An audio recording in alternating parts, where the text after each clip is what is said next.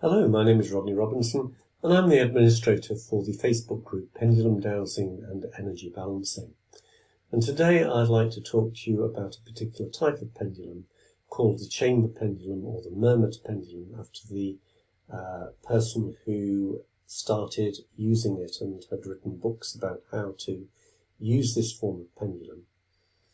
And the particular feature of it is that it has a removable top which reveals a chamber inside into which you can put samples or what's known as a radionic witness. And we're going to talk about each use of this. Now, for example, if you're a prospector and you're looking for gold, uh, you could put a little sample of gold in there and you could hold the pendulum over an aerial photograph, which is said to be a lot better than, than a map because we want a resonance with the actual representation of the area rather than more of a sort of psychic connection. And then you can hold the pendulum over an area that you suspect you're likely to find some gold in, and then uh, allow the pendulum to indicate to you if there is resonance uh, with that particular area. So that's a very um, easy to understand uh, principle. The other thing that you can do is that you can utilize a radionic witness to find out uh, if things are going to resonate with you or the person whose witness it is. And to demonstrate that, I'll just show you what I've done here.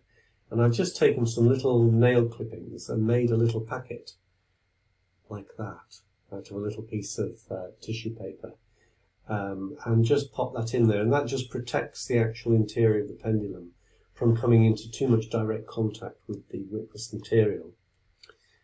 And uh, when we put that together again, the pendulum will resonate more strongly with my own energy. And then what we're doing is we're bringing the pendulum into contact with, with, with other energies from other objects and we're observing the movement of the pendulum. So again, physical dowsing or radiesthesia as it's called, uh, doesn't require the, the formation of a particular mental focus or a, a question. It is literally now a matter of holding it over an object, for example, a tub of supplements or a homeopathic remedy or something that you want to know, will this be of benefit? And uh, the the pendulum will tell you by resonance. So if you get a a uh, positive response, there is resonance, and there will be benefit in that particular object. It will give benefit to you, or it will go in a negative manner. Hopefully this one will because I've just tested it out and you go, yeah, there we go. So this one will not be of any benefit to me, so we can put that one to one side. And um, this is how you can you can sort of find out all sorts of information. It could be, for example, food or different samples of water. Maybe you've got some uh, water from spring sources or tap water or uh, water from um, that you bought in a bottle, and you want to find out how beneficial it would be. Again, you can hold the pendulum over without really thinking about anything, just keeping your mind reasonably relaxed and uh, you know not too occupied with thought, uh, and just allow the pendulum to move as it wishes to do and indicate to you positive or negative. Now, another thing that you can do is that you can put a sample of a remedy in there. Let's take another one. So now here we've got some little pills homeopathic pills made in the same way uh, as, a, as, a, as a sample in a little packet. Again, just to protect the internal chamber. We don't want to contaminate it with too many substances. And then you can literally just bring that pendulum into the biofield of the person who you're testing, whether it be yourself, you hold it over your, your palm, and you can get a reaction as to whether that will be helpful or not. Now, having found out that it will be helpful, you can actually transmit the energy of the remedy that you put in there. It might be a little sample of herb, for example. Herbalist might have discerned that this herb may be good, but you just want to make sure with the pendulum, and it will say, for example, yes or no. If you get a yes, then you can transmit it by swinging the pendulum yourself consciously in a clockwise way and just holding that over the area. If there's an area of the body that requires some healing or just over a chakra center or anywhere within the biofield of the person, and just allow it to swing under its own momentum and to, to, to, to come to a stop or go from side to side. Okay, and when it when it comes to a stop, goes side to side, the energy has been transferred. So that's a way of actually transmitting energy through the pendulum as well. Uh, you can utilize the same uh, principle of finding out whether objects resonate with you. So let's you can go let's go back to the radionic witness. Now I've I've used um, nail clipping in there, but you can use a little snippet of hair, or just take the other sample out, put that one in, and then any object that you have in your house, you can actually check. So let's hold it over this little amber skull and just see how that resonates. And that gives a good positive response, so that resonates well with me. So that's uh, that's an application that could be used, for example, by um, crystal healers who want to find out the best crystal for the client. It's very simple to do. So you can uh, detect, you can you can find um, objects, you can uh, discover whether objects or remedies have a resonance with the individual, which would be beneficial or non-beneficial if it's an anti-clockwise swing. And uh, you can also, by placing your, as the dowser, you can you can place your sample in there, and it should improve the dowsing response. If you're a beginner dowser, that may be something you'd want to do if you're having trouble getting a yes or no response from your pendulum. Putting a sample of your own what's called a radionic witness, as I've described, then it should improve the uh, the resonance with yourself and then give you more positive movement for your dowsing practice. Okay, so that's the chamber pendulum and how to how to use it. Okay, I'm going to show you another pendulum because it is quite related in, in many ways, but it doesn't have a chamber. But it, it, it does the same thing, actually. It's, it's able to impregnate, which is the, uh, you know, it's, it's virtually the same as putting a sample inside the chamber pendulum. So you impregnate the pendulum, or you can transmit whatever the pendulum is impregnated with. And to do that, there is a specific pendulum called the builder's pendulum. It's sometimes called the apprentice pendulum or the mason's pendulum.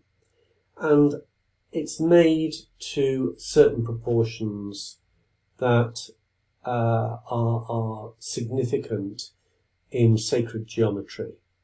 So the actual way the thing has been constructed is to mathematical uh, laws and mathematical coding, perhaps would be a better term.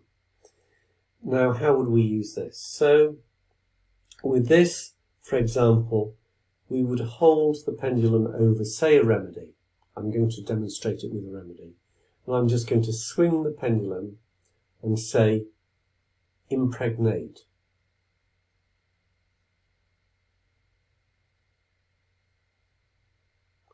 And all I'm going to do is let the pendulum rotate.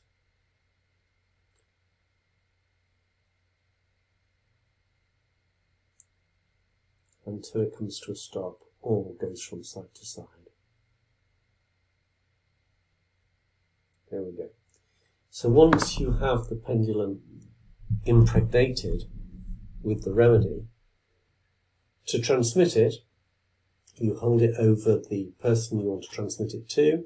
If it's a distant healing, you can hold it over a uh, photograph or you can write the name of the person.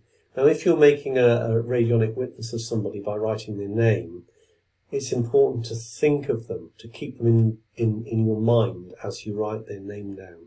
Some people also write their date of birth underneath the name, but that's, that's optional, just the name is fine.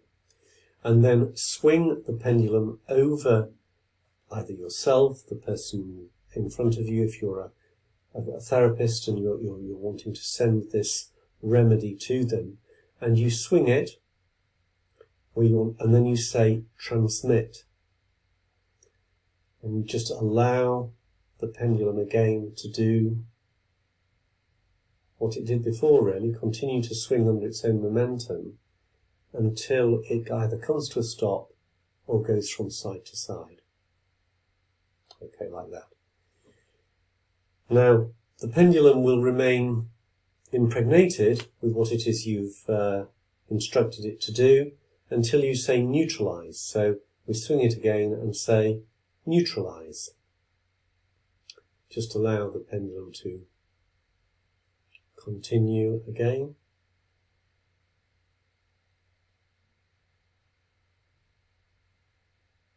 until you get the backwards and forwards response or, or it comes to a stop.